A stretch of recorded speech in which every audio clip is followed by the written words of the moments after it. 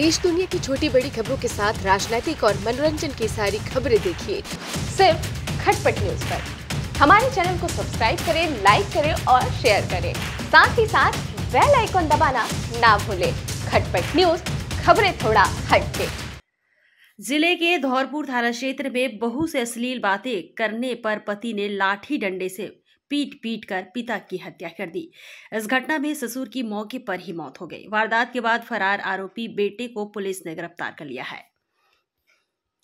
जानकारी के मुताबिक कोठरी पानी निवासी 28 वर्षीय महिला गुरुवार दोपहर घर पर थी। उसका पति शिवचंद कोरवा कहीं घूमने गया था। इस दौरान उसका ससुर भदवा कोरवा 50 वर्ष घर पहुँचा और उसके साथ, गलत नियत के साथ बात करने लगा। कुछ देर बाद पति के आने पर पत्नी ने उसे पूरी बातचीत की जानकारी दी।